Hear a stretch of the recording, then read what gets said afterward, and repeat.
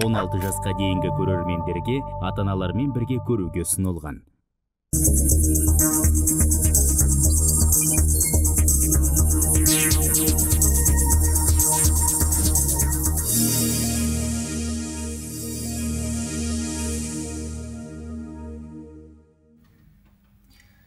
Ұялы телефон өміріміздің ажырамас бөлігі айналды. Қашан көрсең елдің сол бір кішкене ғана құрылғыға теңселіп қарап отырғаны. Ал әлеуметтік желілерді қазіргі таңда екі жарым яғни үш миллионға жуық қазақстандық пайдаланады екен. Халықтың 20 пайызын құрайды бұл. Ал бастапқыда хабарласу құралы болған осы бір ұялы телефон қазіргі кезде әлеуметтік желі үшін пайдаланатын секілді. Қалай дегенде де ол дүниенің екі жағы бар. Жақсы жаман. Ал біз оны қалай дұрыс пайдаланамыз? Ұялы телефонды әлеуметтік желіні қалай дұрыс меңгереміз? Бүгінгі тікелей эфиріміз міне дәл осы тақырыпта болады. Сондықтан біздің арнамен бірге болыңыздар. Студиямызға келген қонақтарды таныстырып өтейін. Алматы қаласы аманхан ата мешітінің бас имамы серхан ахмади ағамыз және журналист блогер ә, мейіржан әуелханұлы. Ассалаумағалейкум студиямызға қош келдіңіздер. Ең алғашқы сұрақ аға өзіңізге болсын. Ұялы телефонды пайдаланасыз? Пайдаланасыз белгілі түсінікті. Сол арқылы өзіңізге хабарластық студиямызға шақырдық. Ал енді сіз не мақсатта көбірек пайдаланасыз? Бисмиллахи рахмани рахим енді ә, ғылым білімнің өркендегені жақсы ғой. Алла тағала оны жақсы көреді. Сол үшін бүкіл ә, әлемді жаратты. Адамзаттың күннен күнге дамығаны ол өте үлкен. Алланың қуанатын сауапты ісі соның бір үлкен бір ә, жаңағы бүгінгі таңдағы ең үлкен өзекті мәселеге айланып отырған осы ә, өзіңіз айтқан сияқты жақсы жамандығы бар осы ұялы телефон. Ә, әлбетте енді ол өмірдегі үлкен бір жеңілдік бұрынғыдай емес қазір кез келген адамыңды ә, кез келген уақытта тауып аласың бүкіл жаңағы әлемдегі қандай ақпараттар болып жатыр оның барлығынан хабардар болып отырасың. Сол сияқты ол өмір сүрудің жаңағы анағұрлым ә, жеңілдеуіне алла тағаланың берген үлкен мүмкіншілігі деп айтса болады. Сол бүкіл ел халық оған барлығына жақсы үйреніп қалды. Қазір бұл нәрсе енді тоқтату мүмкін емес. Ол күннен күнге ә, ары қарай дами береді ә, ең бастысы оны жаңағы өз деңгейінде өз тәртібінде ұстай білу. Енді алла тағала раббымыз ә, осындай берген үлкен мүмкіншілікті біз де ел қатарлы қолданып содан жаңағындай әртүрлі керегімізді алып ә, сонымен қоса жаңағы керек адамдарымызбен хабарласып жатқан жағдайымыз бар енді құдайға шүкір. Аға бір сұрақ. Ә, ұялы телефонды ұмытқан кезіңіз болды ма? Жұмыс, ғой. жұмысқа кеткен кезде тастап. Қандай сезімде болдыңыз? Айтыңызшы. Мен сіздің сол кезде ұялы телефонға қаншалықты тәуелді тәуелді емес екеніңізді айтайын. Енді қазір ә, барлық адамдар оны жасырын емес тәуелді сияқты болып қалды. Өйткені жаңағы ұялы телефоның болмай қалса бір ә, бейне бір бір нәрсені жоғалтқан сияқты. қамалып қалған адам сондай сезім болады ғой. Бөл, бір, бөл, бір бөлмеде қамалып қалған адам сияқты болып қаласың. Ешкіммен байланысың болмай біреу сені іздеп қалды ма тағы да не болды деген сияқты. Алаңдап адам кәдімгі ә, жаңағы ә, көңілің бөлініп тұрады екен оның. Міне осыдан ақ аға телефонның біздің өмірімізге дендеп кіріп кеткен кәдімгі біздің қол аяқ сияқты тағы бір қосымша бір мүшеміз сияқты болып қалған осыдан аңғаруға болады сияқты. Кезінде телефонсыз ақ өмір сүрдік ал қазір телефонсыз бір ыңғайсыз біртүрлі көрінеді. Енді сондай жағдай. жаман деп енді... айтуға келмейді. Өйткені қазіргі кезде барлық жұмыс барысы да соған байланысты өрбіп жатыр ғой. Сондықтан сізді іздеуші жұмысыңыздағы кез келген тапсырмаларға да байланысты соның барлығы ә, енді қажет болып қалған жағдайда ә, табылу үшін жаңағы ісіңіз алға басу үшін де ол өте қажетті болғандықтан деп ойлаймын жақсы. Ал енді ә, ағамыз да біз де ұмытқан жағдайда кәдімгі іздеп кететіндей жағдайға келтірген осы бір ұялы телефондардың қаншалықты мүмкіншілігі бар қазір пайдалануға қолдануға өзіміз үшін ә, қоғам үшін жақсы бір игілікті іске қолдануға арналған. Ә, осы 20 ғасырдың басында ахмет байтұрсынұлы атамыз газет халықтың көзі құлағы һәм тілі деген. Ол кезде газет сол деңгейде қазіргі телефонның қазіргі әлеуметтік желінің рөлін атқарған. Енді ә, қазір осы дәл осы әлеуметтік желі әлеуметтік желіні бізге жеткізіп отырған телефондар осындай құрылғылар бүгінгі таңдағы халықтың көзі құлағы һәм тілі болып отыр. Осылай ғана жауап беруге болады енді. Барлық кез келген адамның қолында әлемді қолында алып жүр десек болады Иә.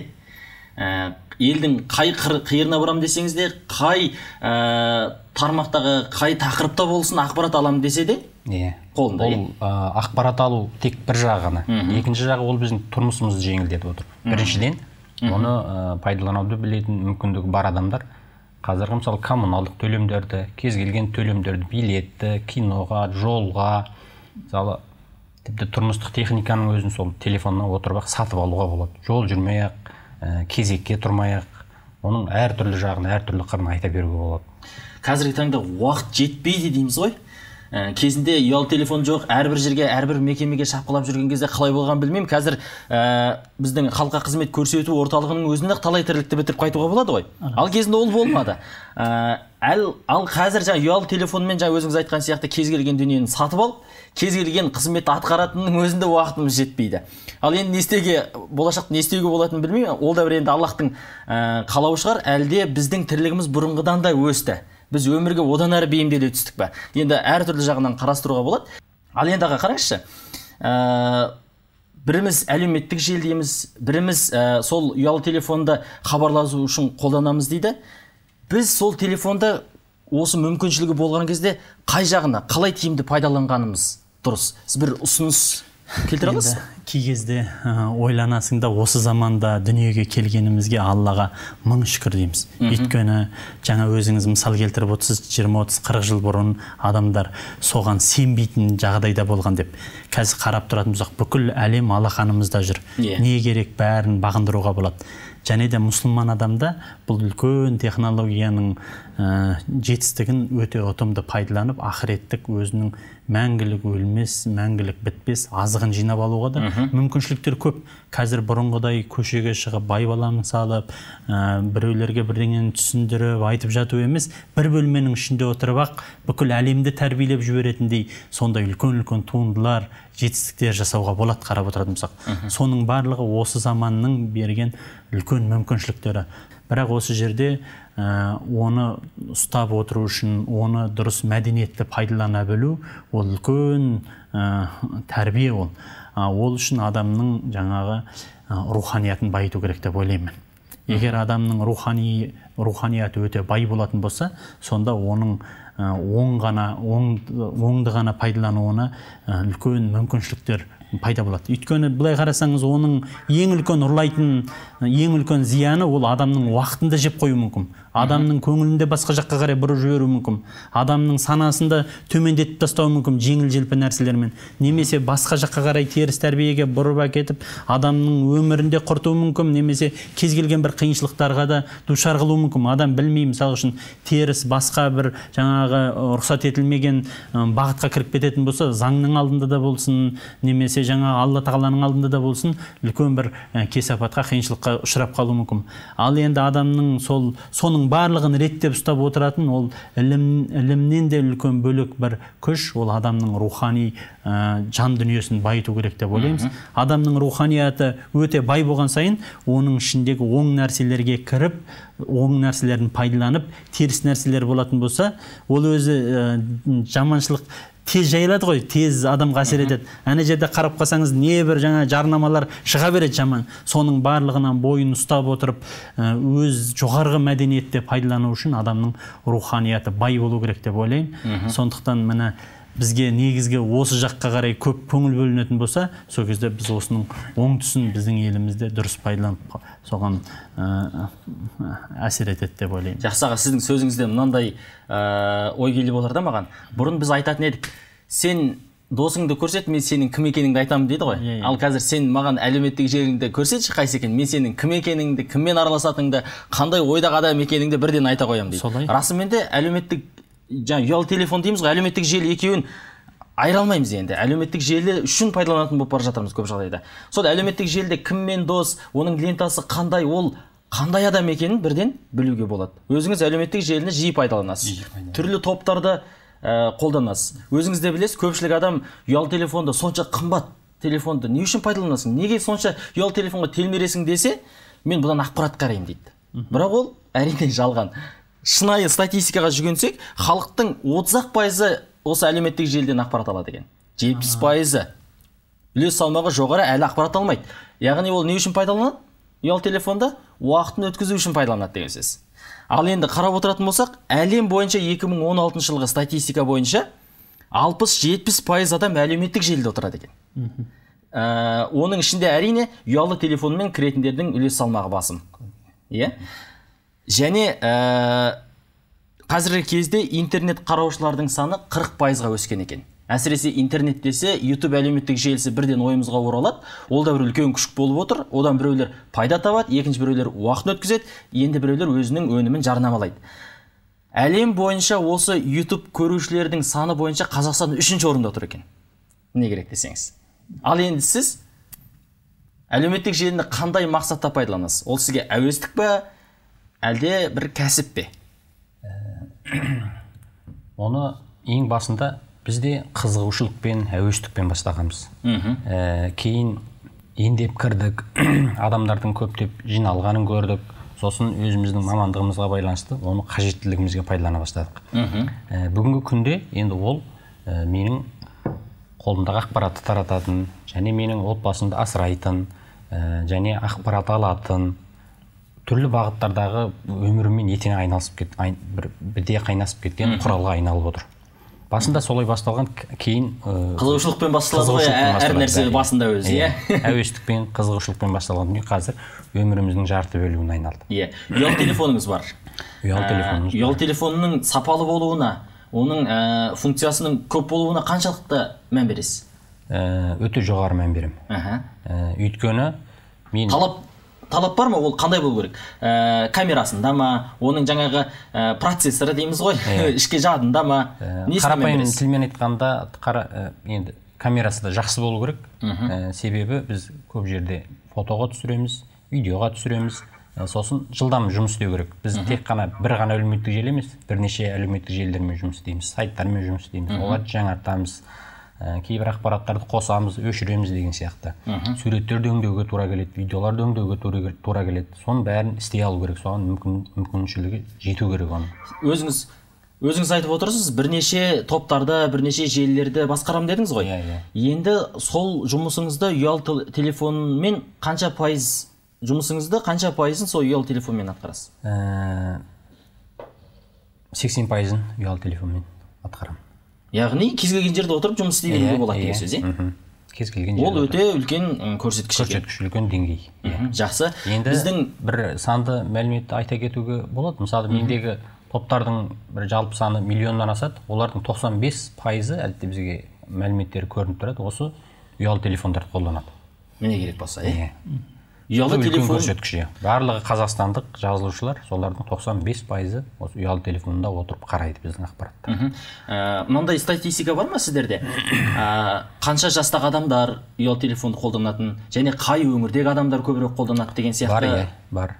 Ә, көбінде ә, 15-16 жас пен 40 жасқа дейінгі аралықтағылар көп отырады. Ә, және алматы астана оңтүстік өңір батыс өңір көп отырады. Интернетте? Басым көп. Телефонда, аудитория, иә. телефонда осы сияқты отырады. Ал енді аға ә, сізде ара тұра ә, интернетті әлеуметтік желіні белсенді пайдаланасыз. Ә, оның ішінде қандай ақпараттардың бар екенін де білесіз. Енді сол ұялы телефонмен ә, хабарлаған кейбір дүние 2-3 жылдан кейін өзімізге WhatsApp желісі арқылы келіп жатады. Ә, кезіндегі бір үндеулер болуы мүмкін немесе бір ә, одан да басқа бір ақпараттар болуы мүмкін. Екі жылдан кейін әрине ескіргені анық. Ә, осындай ақпараттар бізге жиі келіп қалып жатады да білмейтін кісілер жаңағы ұялы телефонын жаңадан алып смартфонды енді ұстап ватсапты қосқан кезде әлгі хабар келген кезде қайтадан таратады да. Енді осы бір жалған ақпараттар осы бір ескірген ақпараттар осыны қалай талғасақ болады қалай таратуымыз керек па таратпауымыз керек па не істесек болады? Енді жалпы мен мына нәрсені айтқан жөн деп ойлаймын. Ә, мынау ол адамның жаратылысы. Адамның жаратылысы өте күрделі ғой. Алла тағала адамды өте күрделі қылып өте ұлық қылып жаратты. Адамның бүкіл мынау теріміздің жаңағы астында бізде небір керемет үлкен күш жатыр үлкен қабілет жатыр. Ә, онымен қоса сонымен қоса біздің мынау жаңа нәпсі дейді адамды теріс бағытқа алып кететін жаңағы сондай сезімдер де жатыр.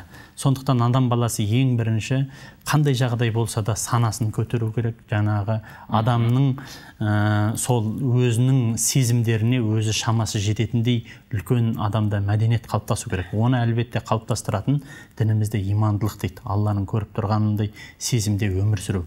Міне егер мысалға үшін адам баласы осындай өзінің санасын өзінің жаңағы ә, жан дүниесін байытатын болса онда ол оның барлығына ә, жаңағы мән беріп қарайды. Оны жаңағы байыппен қарайтын болады оның барлығына. Сондықтан бұл жаңағы біз өмірде мысалы үшін кез келген саланы айтатын болсақ мысалы адамның біреу біреулерді жамандау немесе жаңа арақ ішіп кету деген сияқты немесе жаңағындай басқа сияқты адамның өмір сүруінің жақсы жағына теріс жағына әсер ететін нәрселер көп қой. Соның ең үлкен бүгінгі таңның жаңағы жақсылығы мен дерті осы әлеуметтік желі болып отырғанын және өзіңіз де бір мысалдардан келтірдіңіз. Оның отыз пайызы ғана тиімді нәрсеге пайдаланады екен жетпіс пайызы ондай болатын болса ол жаңағы өзі орынды пайдаланбайтындығы деп деректерді келтіріп отырсыз. Яғни бұл да бүгінгі таңдағы адамның жаңағы нәпсінің ә, теріс бағытқа қарай алып кететін ә, бір жаңағы дерттің бірі деп қарасақ болады. Сондықтан біз осы тұста осы мәселе болсын. Кез келген адамның адал таза өмір сүріп бір біріне қайырымды мейірімді болу үшін де ол адамның руханияты керек. Міне сондай үлкен бір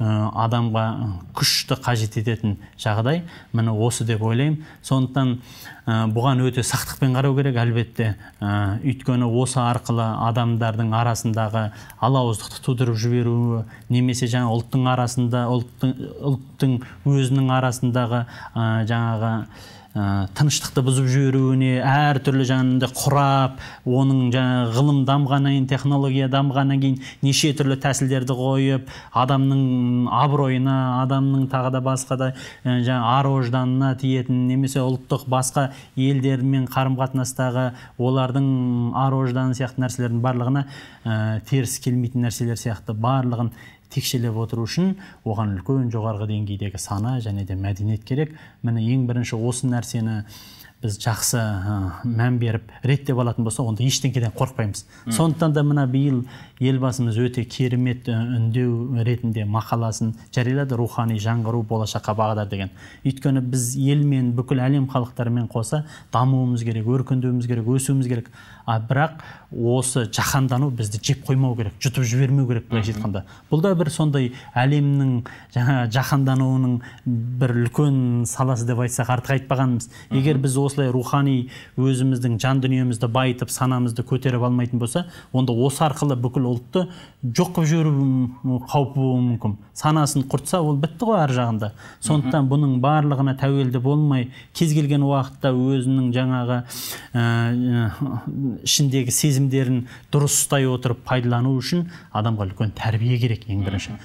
Мен де бір өзімде жаңағы бір мысал келтіріп айтып қояйық. Бұл енді қазір кішкентай еңбектеген баланың өзі де соған құмар болып тұр ғой өзі. Иә. нәпсі дейін десеңіз нәпсі бірақ жоқ білмегенмен біледі.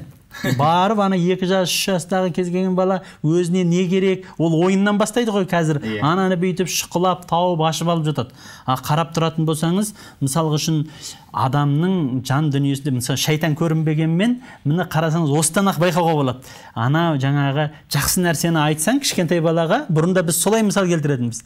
Жақсы нәрсені айтсаң оңайшылықпен жаттамайды. Ал теріс нәрсені айтса адам тез жаттап алады кішкентай бала болса да. Оны ұмытпайды. неге дейтін болса ол адамның табиғаты сондай адам күресу үшін жаратылды бұл дүниеде. Ізгілікке қол жеткізіп үлкен ақиқаттың шыңына шығу үшін жаратылды. Сондықтан да міне соған кедергі болып қалатын үлкен қауіп те бұл болуы мүмкін.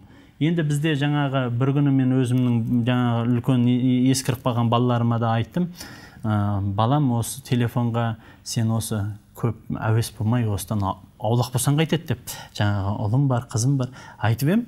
Артынан ақырын әке балаға сыншы дейді ғой. Ақырын байқап қарасам құдайға шүкір олар оған жоламайды. Одан жаңағындай тек қана өзінің хабарласу құралы немесе ілім алу құралы ретінде пайдаланғандығын қарайсың да е құдайға шүкір тәуба деп. Жаңа қуанасың. Сондықтан енді ол балаларға да жақсы дұрыс олар орынды пайдалану үшін біз өзіміз де мәдениетті пайдаланып үйренуіміз керек. Ал өзіміз мәдениетті пайдаланбай тұрсақ балаларымызға айтқанмен ол оны ұқпай қалуы мүмкін ұқпай қалуы мүмкін. Жақсы жақсы бір ә, дүниені айтып отырсыз. Жаңа ұялы телефон дегеніміз хабарласу және ә, әлеуметтік желіге кіру құралы ғана емес қой иә? Оның да басқа функциялары бар ғой тиімді пайдаланатын. Айтып бере аласыз ба қандай екенін? Әлеуметтік желі тек оның мыңнан бір бөлігі деп айтсақ болады. Қазір адамдар ә, смартфон десе ұялы телефон десе сол ғана есіне түседі ғой. Бірақ ол жерде ә, білім алуға болады. Ә, қазір әлемнің көп елдерінде осы үлкен тренд болып жатыр. Алыс қашықтықтан оқыту деген ә, мысалы ол жерде ә, ағылшынның линда ком деген сайты бар. Ол жерде бүкіл осы компьютерге байланысты кез келген ә, осы тұрмысқа өмірге қажетті білімнің кез келген саласына байланысты видео сабақтар жинатылған көп өте көп мөлшерде. Ә, оның басындағы бір он сабағын сіз көрсеңіз тегін көресіз да телефоннан өзінің қосымшасы бар жүктеп аласыз немесе сайтынан кіріп қарауға болады компьютермен. Ал ары қарай енді қызықты адам кішкене дәмін алғаннан кейін ақылы қылып жасап қойған да оларды білімді солай сатып отыр. Бізде де мысалы ә, жаңағы эдукатор деген егер бір бір білсе біреу білмеуі мүмкін сондай жүйе бар қазақстанда білім мектеп оқушыларына білім беруге арналған. Физика химия ағылшын тілі қазақ тілі ұлттық бірыңғай тестілеуге дайындайды ол жерде. Оның да сондай. Мысалы ә, сіз бір айға төлесеңіз бес мың теңге төлейсіз алты айға төлесеңіз жиырма мың теңге бір жылға төлесеңіз деп жаңағы өз нелерін қойып қойған бөліп қойған. Оның да өте көп мүмкіндіктер бар. Осы телефонға арналған мүмкіндіктер бар. Білім беру. телефонға арналған бағдарламалар бар иә бағдарламалар да бар. Ол бүкіл әлемдік эдукатор деген жүйе. Соның қазақстандық жаңағы бөлігі де жасалған. Ол жерде ә, еліміздегі ең білікті ә, мұғалімдер тартылған. Осы саласында көп баса айтуға болады. Жақсы, керемет. нені? Смартфонды тек қана әлеуметтік желі жаңағы тұрмысымызға емес оны білім алуға да өте көп мүмкіндігін пайдалануға болады. Жақсы. тіл үйренуге байланысты ә, кез келген бағдарлама үйренуге байланысты. Расымен де ұялы телефонды мен де жақсы пайдаланамын әлеуметтік желіге де кіремін. Ә, өзімнің айтайын дегенімді оқиын дегенімді сол ұялы телефон арқылы үйде немесе жолда ә, әсіресе алматы қаласы өте кептелісі көп қала кептелісте тұрған кезде бір тиімді пайдаланып қалуға тырысасыз. Мысалы өз басымнан мысал келтірсем ә, қазір ә, оян деген әдемі бір бағдарлама бар. Ол жерде кітаптардың электронды нұсқасы толықтай ішіне кіргізілген. Ә, мысалы әртүрлі сайттардың ә, ұялы телефонға арналған бағдарламалар бар. Жаңалықтарды қарауға болады. Жаңа сіз де айтып қалдыңыз. Ә, сол бір ағылшын курстарын немесе математика физика сабақтарында сол ұялы телефонмен көруге көруге болады. болады деп. Ә, мысалы қазір министрліктің тапсырмасымен жасалған кітап kz деген Иә, сайт ол да бар, иә. ол да бар. Ол жерде қазақтың бүкіл анау көне түркі заманынан осы бүгінгі дәуірге дейінгі бүкіл ақын жазушылары ә, керек десеңіз аудио нұсқасы да бар сол Иә. жақтан егер сіз ә, кітап сатып алғыңыз келмесе ә, кітапты қағаз күйінде көтеріп арқалап жүруден шаршасаңыз. Көлемі осындай кітапты қоюға ыңғайсыздансаңыз Иә. бір жерге. Кез келген телефоннан планшетке сол қосымшаны кітап kz жүктеп алып бүкіл қазақтың руханиятын сол жақтан оқуға болады. Ал дінге байланысты да. Ә, кез келген кітап мысалы қолжетімді емес болса оны өз дінге мысалы муфтияттың діни басқарманың шығарған қосымшалары бар сол жақтан жүктеп алып оқуға болады. Жақсы. Керемет ә, осындай бір мүмкіншіліктерін де пайдаланатын болсақ әрине ол біз үшін құнды құрал. Иә. Ал егер оны тиімсіз пайдалансақ ағайын туыспен хабарласпасақ ә, шай ішіңдер деп телефонмен хабар беретін болсақ бір дастарханда отырып онда ол біз үшін бір құнсыз дүние. Одан алшақтау керек. Солай ма аға ә, жаңағы айтып отырмын ғой бір үйімізде жарық сөнді ә, Wi-Fi өшті сөйтіп үйдегілермен әңгімелестім. Бір жақсы кісілер екен деген сияқты бір әзілдер де пайда болды осы ұялы телефонға байланысты. Енді өзіңіз де айтып отырсыз ғой жаңа ә, балаларыма қой дедім ә, оларда тиылып қалған сияқты деп. Енді балалардың жастардың ұялы телефонға деген әуестігі басым ересектерге қарағанда. Енді сол балаларымызды қалай бір әдепті телефонды әдепті пайдалануға үйрете аламыз? Ә, ол енді әрине ең бірінші ата анаға байланысты ғой. Балаға тәрбиені кім береді? Ата ана береді. Сен балаңды тәрбиелеме бірінші өзің тәрбиеле. Сені көріп өскен бала қайда барады дейді ғой біздің қазақ. Сол сияқты осыған бір тамаша өзіңіздің ойыңызды айтсаңыз. Ал оған дейін телефон қоңырауын қабылдап алсақ. Ассалаумағалейкум. Сізді тыңдап отырмыз. Қай өңірден хабарластыңыз? Мынау мен алматы қаласынан хабарласып тұр едім. Аха. Қонақтарға қояғым сұрағым қонақтарға қояр сұрағым бар еді. Мхм. Мынау менің төрт жасар балам бар. Үйге келген кезде жаңағы жылап телефонды алып алады. Ойын ойнайды әлеуметтік желілерге кіріп алады. Жаңағы ютубқа кіріп видео көреді дегендей. Осыны қалай қойдырса болады балаға. Мхм. Мына отбасымен алаңдап ертең көзіне де зиян дегендей. Мхм. Миына да зиян деп жатыр. Жақсы рахмет. Ә, алла разы болсын. Дәл менің қойған сұрағымды бауырым да қойып отыр екен. Енді біз ә, алла тағала раббым күш қуат берсін деп одан пана сұраймыз ғой. Әйтпесе ол расында да. Айтуға оңай деп жаңағы айтсақ болады. Ә, жаңа өзіңіз айтқан сияқты жарық сөніп қалды дегендей Иә. біздің анамыздың бір ә, сіңілісі бар. Сөйтсе өзінің қыздарының үйіне ә, барады ғой енді. Үйіне барса әрқайсы өзі жаңағы ұялы телефоннан шықпайды. Соларды жаңағы отырып қашан отырады? Бір уақытта шығып кетіп бара жатса артынан неменеге келіп едіңіз? деп жаңағы артына жауып ұялғаннан қуып сұрап жатыр деп әңгімесін айтқаны бар жаңағы сіз айтқан сияқты. Ой сендермен әңгімелесейін деп келсем әрқайсыларың қолдарың тимей жатыр екен сондықтан кеттім деп жаңағы өкпелегендей қылып сөйтіп бір әңгімесін айтып бергені есімізде бұл кімнің де болса да басында болып жатқан жағдай болып жатыр әлбетте ол дұрыс емес және өзіңіз айтқаныңыз сияқты жаңағы бізде анамыз да ұрысады пендеміз ғой кей кезде кетіп қалады ол Иә. анау рөлде отырған кезде де жаңағы анаған қарап қаласың а соның арқасында қаншама зияндар болып қалып жатыр соның барлығын енді орынды мәдениетті пайдаланатындай ол раббым біздерге сана сезім сондай имандылық берсе екен деп тілейміз өзімізде ұрпақтарымызда. Бұдан аман болған адам ол үлкен жетістікке қол жеткізген адам. Егер жаңағы теріс жағынан бұны ұтымды пайдаланған адам үлкен бір ә, жақсылыққа қол жеткізген адам жаңа бауырымыз мейіржан айтып жатыр. Енді мынау жаңағы одан қалай істеуге болады дейін десе бұдан бір ақ қана жол бар. Мхм.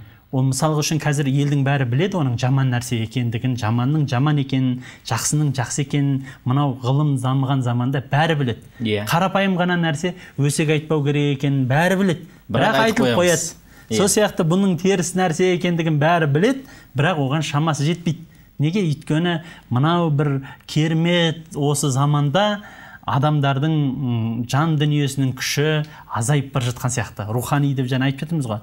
Ең үлкен нәрсе осы жастайынан бастап адамның руханиятын күшейтіп имандылығын күшейту керек. Сонда ғана адам баласы а, жаманшылықтан аман болып қалады. Ал егер оны күшейтпейінше оны сіз күндіз түні күзетіп отыра алмайсыз. Мүмкін емес ол. Ол мүмкін емес жағдай өйткені қазір барлық жерде ашық. Барлық жерде мүмкіншілік бар. Сондықтан ол қазір төрт жаста болып тұрғанмен бауырымыздың қазір соған не істерін білмеймін деп отыр. Ал ол 14 жасқа келсе не болады. Міне көрдіңіз бе? Сондықтан осы арқылы мейірімділік қайырымдылық жаңағы ата анасына деген немесе басқа оның барлығының ә, жұрдай болып қалуы мүмкін. Сондықтан ең бірінші әрбір ата ана осындай қазір мынау ашық елде өмір сүріп жатырмыз біз. Иә. Ә, қазір бәр нәрсе дамуымен қоса жаманшылықтар да ол жаңағы өсіп бара жатқандай болып көрінеді. Сондықтан біз жан таласып ата ана ертеңін ойлау керек деп ойлаймын. Ол үшін имандылық имандылық имандылық имандылық. Мешітке келу керек. Пайғамбарымыз міне туған ұялы телефонның орнын ауыстыратын бір нәрселерді ойлап табуымыз керек қой. Жоқ ұялы телефонның орнын ештеңемен ауыстыра алмаймыз. Ол ол енді ол жаңағы оны пайдалансын. Бірақ оны мәдениетті пайдаланатындай деңгейге жеткізу керек. Ол үшін адамда иманды қалу керек. Өте тақуа өте иманды болса ол сонда оны жоғарғы деңгейдегі өзінің мәдениетінде пайдаланады. Егер сол сала арқылы ол жаңағы өмір сүруіне пайдаланатын болса ол бір басқа. Ал енді кез келген салада жұмыс істесе де өзінің керекті ғана деңгейінде пайдаланады да одан кейін жаңағы ә, ә, оны жаңағы қойып өзінің шаруасымен айланысатын болады. Міне сондықтан ол үшін бір ақ қана жол ол адамды ә, имандылықпен ғана тәрбиелегенде ғана аман алып қала аламыз. Одан басқа жол жоқ. Өйткені біз білім арқылы дейін десең қазір бәрі біледі. Оның теріс екендігін соны қолданып жүрген 40 жасқа дейінгі деп жаңа айттық қой. Қолданатын адамдар алпыс жасқа дейін деп айтылып жатыр ал оны білмейді дейсіз ба біледі. Уақытының кетіп жатқанын біледі. Бірақ теріс- бірақ ол өзін тоқтата алмайды. Жаңағы дереу телефонға қарай жүгіреді сонымен өмірі байланысты болып қалғандығын біледі. А оның барлығынан ада болу үшін әлбетте тек қана бір ғана күш. Ә, басқа жаманшылықтарды да тоқтататын ә, сол баяғы имандылық күші бұл жағдайда да өте қажет болып тұр да. Жақсы. Енді ә, айтып отырсыз ғой төрт жасар бала үш жасар бала ес білсе болды. Ол ұялы телефонның бір қызық дүние екенін немесе соған бір ә, одан жасырып қойған бірдеңе бар сияқты таласып жылайды ғой енді балалар. Енді ол балаларды қызықтыратын телефонда не бар? Неге соншалықты ол телефонды ұстауға ә, сол балалардың өзі ес тоқтатпаған балалардың өзі неге сонша құмартады? Ә, енді бұл жерде бала ең алдымен ата анасынан көргенін істейді. Баланың ата анасы телефонға смартфонға жабысып соның баланың көз алдында отырғаннан кейін ол да қызығады. Бұлар неге қарап отыр оған менен жасырып не? көріп отыр? Ішінде бір қызық дүние болғанын қарап отыр ғой деп ойлайды ғой. Сосын бірінші өзіміз үйретеміз оларға. Міне мына ютуб деген не қызыл тетікті басасың ішінен мультфильмдер шығады деп. Енді содан басталады бәрі. Енді бұл жерде ең басты дүние жаңа ағамыз айтқандай баланы осы санасы кіре бастаған кезінен бастап имандылыққа тәрбиелеу керек. Содан кейін бас, соны, сол деңгейге шығару үшін жаңағы бірінші ата ана өзінің мысалы үйге келгенше телефон қарайтын дүниесін қарап алсын ішіндегі хабарласатын адамдарға хабарласып алсын инстаграмын қарап алсын фейсбугын қарап алсын. Бірақ үйге келгеннен кейін қарамай ақ қойсын ертең жұмысына кеткенше баланың көз алдында қарамай ақ қойсын сонда. Бәрін ондай кішкене жолға қоюға болады. Иә, алшақтатуға болады. тамаша айттыңыз бір ағамыздың айта кетсем бір ағамыз ә, жақсы бір әдет қалыптастырған екен. Ә, үйге кіре беріске қалташа қанша адам бар үйдің ішінде ұялы телефон ұстайтын сонша қалташа, қалташа жасадық. Ә, үй- үйге кірген кезде жұмыстан әркім өзінің қалтасына ұялы телефон салып кетеді. Егер бір шұғыл хабарласқан болса әрине сол жерге барып хабар жаңа жауап беріп қайтып салып қояды екен. Осыны бір дәстүрге айналдырыпты. Үйдің ішінде ешкім ұстамайды. Сол жерде тұру керек сол жерден ары қарай сыртқа шығу керек. Ол рухтары күшті адамдар деген сөз. Ә, енді тағы да мәкеңнің сөзіне бір қосып жіберсек мысалы үшін жаңа айттық қой адамның жаратылысы бар деп. Адамның жаратылысы сондай жаратылған бұл дүниеде әр адамға жаман нәрселер жан дүниесіне жақсы көрінеді де жақсы нәрселер ауыр болып көрінеді негізі. Мысалы үшін намаз дейін десе адам ауыр сияқты көрінеді. Сол сияқты жаңағындай мысалы үшін темекі немесе жаман ішімдіктің жаман екенін білет, білет бірақ неге оған әуес болып кетеді? Жаңа кішкентай балаға теріс ауыз сөз айтсаңыз тез жаттап ала қояды да абай атаның өлеңі десең оған онша қызықпайды. Сол сияқты бұл да нәпсі. Бұл да шайтан. Шайтан адамға көрдіңіз ба ол кішкентай болғанмен оның жаңағындай ә, жаратылыс ол да сондықтан сол кезден болса біз осындай нәрселерді осылай байқауымызға болады деп ойлаймын ол да бір үлкен бір жаратылыс сол жаратылыс болғаннан кейін ә, ол оны талап етіп жатыр әйтпесе ол оған ақылы жетіп тұр дейсің ба ақылы жетпейді төрт жастағы бала. Бірақ анау жаратылыс өзінің Дегенін істеп иә жаратылыс соны тартып тартқызып жатыр. Енді әрбір нәрсеге байланысты өзінің бір теріс жағы болады және сонымен ауыратын адамдар да болады екен. Осы ұялы телефонмен және әлеуметтік желімен ә, әуестенген былайша айтқан кезде ауыратын адамдардың да өзінің бір аурудың атаулары бар екен. Номофобия фобия деп атайды екен иә? Әлеум- ә, ұялы телефонмен ауыратындар. Телефон жоғалтып қалуға қорқады екен. Сол ұялы телефоннан айырылып қалуға қорқады екен. Номофобия деп аталады екен осы бір аурудың түрі. Ал енді әлеуметтік желіге байланысты лайкомания деген бір атап жүрміз ғой. Кім маған қанша лайк басты екен? Азанда тұра қаламыз да кім комментарий қалдырып кім лүпіл басты екен деп қарап отырамыз. Немесе ә, ұялы телефонымыздың тыңқылдаған дау- дауысын естісек жаңағы бүйтіп көзіміздің қырымен не бар екен деп өзіңді шыдауға тырысасың бірақ бәрібір оған қарауға шыдап беттейсіз ғой. қарауға мәжбүр дейді. Енді сол ұялы телефонды қайта қайта біздің мазамызды ала бермес үшін де оның бір ә, жүйелері қарастырылған шығар сіздің мазаңызды ал алмайтындай жасауға. енді қарастырылған ғой әрине. Жаңағы дыбыссыз режим деген сияқты. Бірақ біз оған қоймаймыз ғой. Себебі жаңағы нәпс- нәпсіміз тартып бара жатыр. Дәл осыған байланысты бір қызықты не бар жаңағы? Лайкомания деп отырмыз басқа деп отырмыз. Тура сондай бір ауру бар екен. Адамдар маған хабарласпай қалды ма? Телефоным ұстамай қалды ма? Бұндай да бар, иә? қалды ма деген сияқты. Дәл осыған байланысты қытайда арнайы тіпті ақылы қызмет түрі де қосылған екен. Міне. мысалы сіз оған айына бір мың теңге ма мысалы теңгемен айта берейік екі мың теңге ма төлеп қоясыз. Олар күніне сізге бір рет звондайды екі рет жаңағы хабарлама жібереді. Сөйтіп жаңағы сізбен телефонда сөйлесіп отырады хабарласып отырады. Әшейін халыңызды сұрайды жаңағы тамақ іштіңіз бе деп сұрайды. Немесе жылы киініңіз бүгін кішкене суық болады деген сияқты сондай хабарландыруларды жіберіп отырады екен. Яғни адам бір телефонда бір нәрсе келіп тұру керек. Соған тәуелді болып қалған. Соны келмей Күтеді қалса иә күтеді. Келмей Келмесе уайымдайды. иә уайымдайды. Кәдімгі құлазиды жалғызсырайды.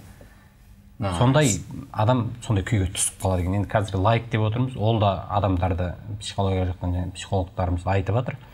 Сондай күйге түседі сондай ауруға душар болған бүгінгі заманның адамдары деп. Енді сол бір телефонымызға келетін ақпараттың жалған расын қалай анықтасақ болады? Біз келді екен ә, мысалы көптеген осы дінімізге байланысты да немесе бір оқиғаға байланысты да жалған ақпараттар келеді. Егер осыны таратпасаң ә, бәлем болады түген болады деген бір ақпараттар бар. Ә, немесе мынаны таратайық мына жерде мынандай болады екен мынандай жеңілдік бар екен деген сияқты. Немесе мынаны таратсаңыз мынандай сыйлық аласыз деген сияқты ма? Енді айта берсе түрі көп енді есепсіз. Сондай бір ақпараттардың жалған өтірігін біз қалай білеміз? Ә, енді қазіргі енді жалған ақпараттан аяқ алып жүре алмаймыз десек те болады. Иә. қазіргі таңда өте көп. Ә, сіздің қалтаңыздағы ақшаға қол салады ол уақытыңызға қол салады. Ертең тіпті қылмыстық жауапкершілікке тартылып кетуіңіз де мүмкін. Ә, бүгінгі таңда қазақстанда сол туралы заңдарда қарастырылған. Яғни әлеуметтік желідегі кез келген бір оқиға туралы хабарлайтын адам ол кәдімгі ақпарат тарататын бұқаралық ақпарат құралдарымен теңестіріліп қойған. Әлеуметтік желінің өзі әлеуметтік желінің өзінде. Кез келген пайдаланушы бір видеоны түсірсе фотоны түсірсе бір текстті ақпаратты жазып жіберсе ол ертең жауапқа тартылады сол жазған дүниесі үшін. Ә, бұл жерде енді оның мысалы бізге хабарландырулар ә, ә, ақпараттар келіп жатады. Оның жалған шын біз ажырата алмаймыз. Ол үшін ә, бізде күні бойы 24 сағат бойы жаңартылып отыратын мысалы сайттар бар ақпарат тарататын агенттіктер бар. Иә. оларда ә, еліміздегі ірілі ұсақты кез келген оқиғаға байланысты ақпараттар шығып отырады. Ең бірінші сондай бір танымал екі үш ақпараттық агенттіктің сайттарын немесе солардың қызметтерін бір бір шолып қарау керек та егер олардың ақпараттарының тізімінде сізге келген ақпарат бол- болса ол шын ақпарат. Ақпараттың дерек көзін екі үш жерден анықтау керек. Егер шын Таратпай тұрып, иә, иә? таратпай тұрып. Егер ол жақтарда болса онда сізге келген ақпарат шын. Егер ол жақта жоқ болса немесе тура сол ақпараттың ішіндегі мәтіндерді алып сіз енді гугл бар ғой қазір құдай берген гугл Иә. кез келген дүниені іздейміз. Сол жаққа іздеп көріңіз. Осындай дүние ақпарат келді. Сол ақпарат туралы менен басқа да мысалы сайттарда шыққан ба екен ол? Иә. сөйтіп тексеріп көруге болады енді ең қарапайым жолдар. Біз енді өз саламызға байланысты журналистикаға байланысты да кез келген ақпараттарға осылай таратардан бұрын анализ жасаймыз. Басқа жақта қалай шықты орыстар не деді ағылшындар не деді қытайлар не деді? Жаңағы француздар не деді деген сияқты. Солай тексеруге болады. Енді өзіңіз де айтып отырсыз ғой әлеуметтік желінің өзі бұқаралық ақпарат құралдарының деңгейіне көтеріліп отыр. Иә. А, ол жерде жазған жазбаңыз үшін де жауап бересіз. Бұрын жігіттер айтатын еді ғой сөзіңде тұрасың ба? деп. Сөзіңе жауап бере аласың ба? деп. Сол сияқты әлеуметтік желіде жазғаныңа жауап бере аласың ба? Шынымен де рас өтірігіне ә, сенесің ба сенбейсің ба? Оның өзінде бір барлап анықтау керек екен иә? Иә оны бар, бақылап отыратын арнайы мекемелер де бар бізде. Ә, енді ә, кейбір жаңағы әлеуметтік желіні жаңадан қолдана бастаған немесе сол техникалық саласынан қатты хабары жоқ адамдар ойлайды мен басқа атпен тіркеліп басқа жаңағы фейк аккаунт дейміз ғой сондай аккаунтпен ақпарат таратсам пікір жазып кетсем білмейді деп ойлайды. Ол ол қиял ол біледі. Ол жерде себебі Ол сыртқы бір- көрініс қана ол жасырын болуы мүмкін, иә? сыртқы өзіңіз сияқты адамдарға ол жасырын болып көрінеді. Бірақ оны сізді жаңағы бақылап отыратын адамдар үшін ішкі істер органдары үшін ол мысалы сайттың админі үшін ең қарапайым болғанда сайттың иелері үшін сіз жасырын адам емессіз. Өйткені сіз ә, жаңағы пікір жазған кез келген комментарий жазған оны сіз телефоннан жазсаңыз да компьютерден жазсаңыз да ол жерде IP адрес деген болады. Бір ә, бір құралда бір IP адрес болады міндетті түрде. Мысалы қазақстанда 10 миллиард сондай телефонмен құрылғылар бар десек он миллиардында он миллиард түрлі IP адрес болады. Бір адамның кәдімгі ДНК деп отырмыз ғой біз. Дәл сол сияқты. екіншісінікімен ұқсамайды алмаспайды. саусақ бедері сияқты. Иә. Ол днк кәдімгі қазақ телекомға немесе қазір алтелге кез келген тіркеледі жаңағы сайтқа да түсіп отырады. Сол арқылы сіздің қайда отырғаныңызды ол қандай жаңағы жеке куәлікке тіркелген барлығы белгілі дүние. Сондықтан енді көріп отырған көрермендер болса да барлығына айтарымыз ақпаратты таратқанда абай болу керек. Шынайы ең басында айтып отырмыз ғой адамның өзінде ішкі жаңағы иманы ақылы сол бірінші сол синтездеу керек адамның иманын синтездеу керек адамның өзіміздің ақыл- сүзгімізді өзіміз қалыптастыруымыз керек қой былайша адамның ақыл ойы бірінші сол ақпаратты синтезінен өткізу керек. Мынаны мен Не үшін таратып жатырмын? Маған пайдасы бар ма? Иә. салуға бола ма болмай ма? Ол ертең бір дау тудырмай ма? Ол біреудің ар намысына тимей ме? Біреудің атақ абыройына тимей ме? Сол дүниелерді бірінші ойлану керек. Керемет. Ә, енді бізге берілген уақыт өз мәресіне жақындап қалды. 5 минутқа жуық уақыт қалған екен. Енді ә, осы бір 5 минутты тиімді пайдаланып айтарымызды айтып қалайық. Аға енді өзіңіз м, осы имам ретінде халыққа жақсы таныссыз өзіңіз қолыңыздан келгенше ә, имандылықты алланың бір екенін насихаттауға ә, бір адамдай атсалысып жүрген адамның бірісіз ғой. Енді өзіңіз ә, жалпы мешіттер бар. Қазір басим талдықорған қаласында бас имам болдыңыз. Енді алматыға келіп отырсыз. Ә, енді осы бір дінімізді бір құндылығымызды ә, рухани байлығымызды пайдалану үшін де осы әлеуметтік желіді ұялы телефонды қаншалық пайдаланып жүрсіздер? Енді құдайға шүкір біздің қазақстан мұсылмандар діни басқармасы да бұған өте қатты көңіл бөліп отыр. Өйткені одан басқа жол жоқ көңіл бөлмесе өйткені халықтың бәрі соны пайдаланғаннан кейін мейлінше біздерде осы жастарды әсіресе қазақстан мұсылмандар діни басқармасы ұйымдастырып осы бағытқа бұрып жатыр кез келген имам бұдан хабардар болу керек бұны өте мәдениетті пайдалана білу керек те бұны жаңағы үлкен бір тәрбие құралына айландыру керек деген мақсат ол бүгінгі күннің біздің қазақстан мұсылман діни басқарманың негізгі өзекті мәселесі. Сондықтан жаңағы теріс ағымдарға теріс бағыттарға теріс ақпараттарды алып кетпес үшін ә, мейлінше оған жаңағы әрбір облыста сайттар бар. Біздің мүфтият сайты сол сияқты фатуа kz сайты ә, азан kz сайты деген сияқты әрбір облыста бірнеше жаңа сайттар. Сонымен қоса жаңа әлеуметтік желілер қандай желілер бар? Барлығын тиімді пайдалануға тырысып жатырсыздар. қолдан келгенше тырысып жаңа өйткені бұл нәрсені ә, адамдар өзінің жаңа жасаған еңбектерін білген білімін немесе жаңағындай әртүрлі ә, өздері жаңа адамның тәрбиесіне жақсы әсер ететін кез келген жаңағы өзінің білетін нәрсесімен бөлісіп оң нәрселермен оған қолдан келгенше тырысып бар күшін салып жатыр деп Жақсы, артық айтқаным емес. Ол сонымен қоса бізде тек қана мешітте ғана емес сол әрбір имам өзінің жамағаттары қанша оның қандай сұрақтары бар дұрыс ақпарат алып отыру үшін. Солай жаңа бізге тапсырылған мысалға қарап отыратын болсақ әр имам өзінің жамағатымен бірге бір топ. Ә, әрбір жаңағындай сондай сондай сияқты істерді қолдан алла істеріңізге береке берсін аға. Көп рахмет. Ал енді мәке өзіңіз ә, қандай түйін сөз айтар едіңіз? Телефонды тиімді пайдалану үшін. Зияны қандай пайдасы қандай? Қысқа нұсқа тұжырымдап берсеңіз. енді смартфон бүгінгі өміріміздің бір бөлігіне айналды. Біздің қолымыз енді қолымыз жүрегімізбен ауыстыра алмайтын шығармыз бірақ бізге ол қажеттілік ту- туындап отыр. Біз одан қашпауымыз керек. Сол сияқты смартфонда үлкен күш қазір. Қазіргі бүкіл ә, қоғамды қозғайтын да қай жаққа бұратын да күш ә, барлығы осы әлеуметтік желіде осы смартфонға тәуелді болып отыр. Сондықтан ә, біз одан білім алайық біз одан имандылықты үйренейік біз оны ұрпағымызды тәрбиелеуге ұлтты тәрбиелеуге елдің болашағын елдікті тәуелсіздігімізді нығайтуға пайдаланайық кері жағынан сақтанайық. Жақсы. Рахмет керемет. Енді мынандай бір ақпараттарды да көрермендерімізге ә, айта кеткен жөн деп ойлаймын. Қоңырау соғылған кезде телефонды 4 секундқа дейін алмау керек екен. Себебі сол аралықта өте қатты толқын шығады екен. Ол біздің миымызға жүйке жүйемізге әсер етеді екен. Және сөйлесіп болғаннан кейін ә, сол ұялы телефонымызды құлағымыз, құлағымыздан алшақтатып барып 4 секундтан кейін барып өшірсек ол өте жақсы екен. Және найзағай күндері қоспаған анағұрлым жақсы екен. Себебі бұл магниттік толқын найзағай ә, түсуіне себеп болуы мүмкін екен. Сондай ақ 15 минуттан артық сөйлесе біздің ә, қай құлағымызбен сөйлестік сол ми бөлігіне өте жоғары әсер етеді екен де біздің миымыздың тежелуіне де себепкер болады екен. Және ұзақ қарау көз жанарын құртады әрине ә, көп пайдалансақ уақытымызды жейді. Және көлікте отырып пайдалансақ көлік апатына өміріңізді жалмауға дейін алып баруы мүмкін алла сақтасын сондықтан ұялы телефонды сізде бізде жалпы халық болып тиімді пайдалануға тырысайық. Біздің хабарласу құралы болған әлеуметтік яғни ұялы телефонымыз әлемді басқаруға әлемді тамашалауға зерттеуге қарауға мүмкіндік бергенімен оның екі жағы бар соның тиімдісін ғана пайдаланайық. Сара салтымызды дара халқымызды дара қалпымызды сақтай білейік ағайын. Ассаламу алейкум уа рахматуллахи уа баракатух.